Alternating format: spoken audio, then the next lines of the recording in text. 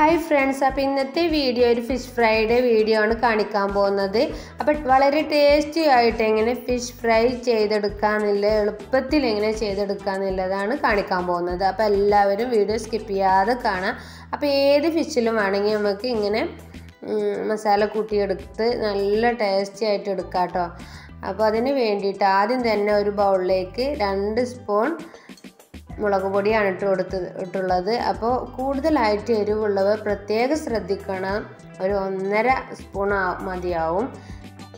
അര സ്പൂൺ മുളക് മഞ്ഞൾപ്പൊടിയും കൂടി ഇട്ട് കൊടുത്തിട്ടുണ്ട്.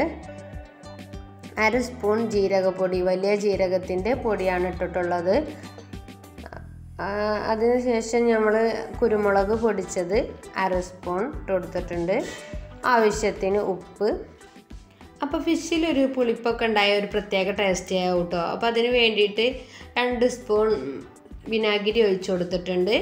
ഒരു സ്പൂൺ ഇഞ്ചി വെളുത്തുള്ളി പേസ്റ്റാണ് ഇട്ട് കൊടുത്തിട്ടുള്ളത്. പിന്നെ അര സ്പൂണോളം നെയ്യാണ് ഒഴിച്ച് കൊടുക്കുന്നത് കേട്ടോ നമ്മുടെ നാടൻ മിൽമ ബട്ടർ ഏതും വേണമെങ്കിൽ ആവാം.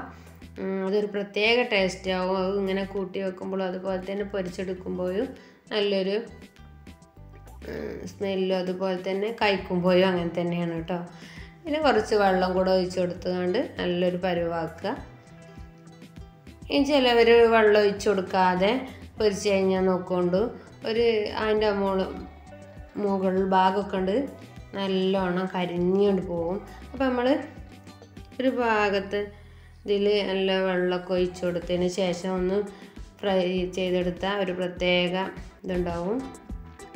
അപ്പോൾ നമ്മൾ ഫിഷൊക്കെ ഇട്ട് കൊടുത്ത് നല്ലോണം ഇളക്കിയെടുക്കുക. ഒരു പ്രത്യേകം ശ്രദ്ധിക്കാണ്ട് മുപ്പത് മിനിറ്റ് കഴിഞ്ഞിട്ട് ഒന്ന് പൊരിച്ചെടുക്കുകയാണ് ഏറ്റവും കൂടുതൽ ഉത്തമം കേട്ടോ അപ്പോൾ അതിന് വേണ്ടി മുപ്പത് മിനിറ്റൊക്കെ കഴിഞ്ഞ് നമ്മളെ പേൻ നല്ലോണം ചൂടായി വരുന്നിട്ടുണ്ട് അതിലേക്ക് നല്ല വെളിച്ചെണ്ണ ഒഴിച്ചു കൊടുക്കാം.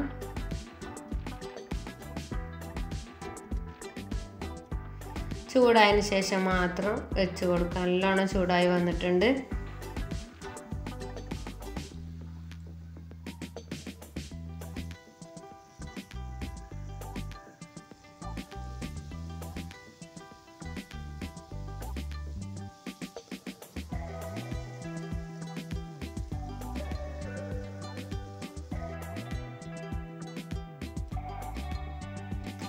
അപ്പോൾ പ്രത്യേകം ശ്രദ്ധിക്കാനുള്ളത് നമ്മൾ എല്ലാ ഇതും തേച്ച് വെച്ച് അത് വെച്ച് കൊടുക്കുമ്പോൾ തന്നെ ചിലതൊന്ന് മറിച്ചിട്ട് കൊടുക്കും. അപ്പോൾ നമ്മളെ ആ കായങ്ങളും ഇതൊക്കെ പോയി കണ്ട് ആകെ എന്താ പറയുക ഒരു ഒട്ടി പിടിച്ചതുപോലെ ആവും. അപ്പോൾ ഒന്ന് നല്ലോണം ഫ്രൈ ആയിട്ട് മാത്രം നല്ലൊരു ബ്രൗൺ നിറാണ്ടോ നോക്കിയിട്ട് മാത്രം മറിച്ചിട്ട് കൊടുത്താൽ മതി കേട്ടോ അപ്പോൾ അതിങ്ങനെ അയക്കണ് അപ്പോൾ നമുക്ക് ഇങ്ങനെ ആകുമ്പോഴാണ് മറിച്ചിട്ട് കൊടുക്കേണ്ടത്.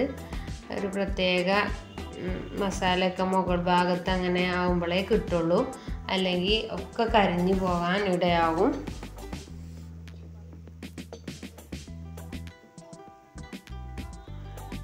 പിന്നെ അപ്പോൾ തന്നെ ശ്രദ്ധിക്കേണ്ട ഫസ്റ്റ് തന്നെ കരിവേപ്പിന്റെ ഇട്ട് കൊടുക്കേണ്ട ആവശ്യമില്ല.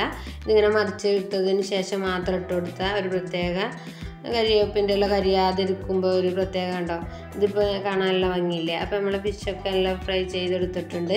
അപ്പോൾ എല്ലാവർക്കും എന്റെ വീഡിയോ ഒക്കെ ഇഷ്ടമാവുന്നുണ്ടെങ്കിൽ നിങ്ങൾ തീർച്ചയായിട്ടും സബ്സ്ക്രൈബ് ചെയ്തിട്ടില്ല എന്നുണ്ടെങ്കിൽ സബ്സ്ക്രൈബ് ചെയ്യുക. തൊട്ടടുത്ത ബെല്ലൈക്കൺ കൂടെ ക്ലിക്ക് ചെയ്യുക. Okay bye